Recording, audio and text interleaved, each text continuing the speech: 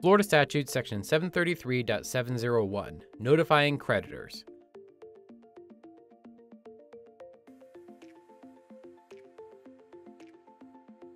Unless creditors' claims are otherwise barred by Section 733.710, every personal representative shall cause notice to creditors to be published and served under Section 733.2121.